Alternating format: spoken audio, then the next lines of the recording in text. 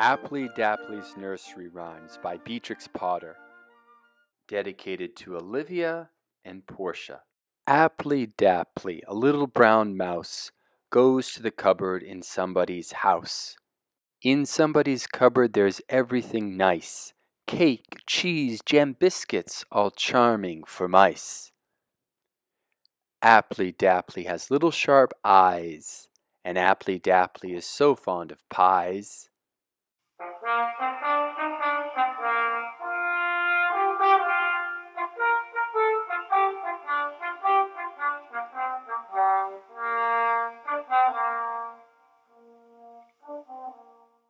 Now who's this knocking at Cottontail's door?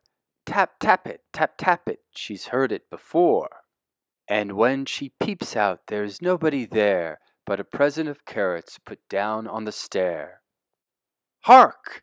I hear it again. Tap, tap, tap it, tap, tap it. Why, I really believe it's a little black rabbit.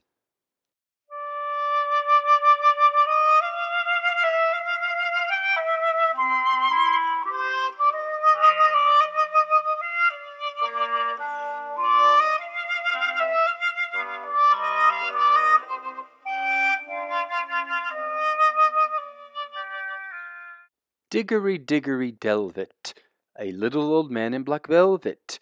He digs and he delves, you can see for yourselves, the mounds dug by Diggory Delvet.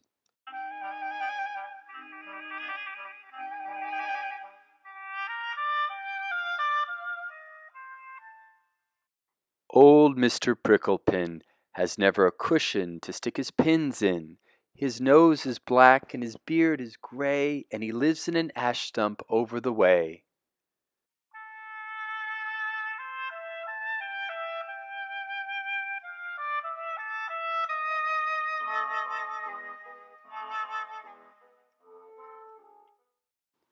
You know the old woman who lived in a shoe and had so many children she didn't know what to do? I think if she lived in a little shoe house, that little old woman was surely a mouse.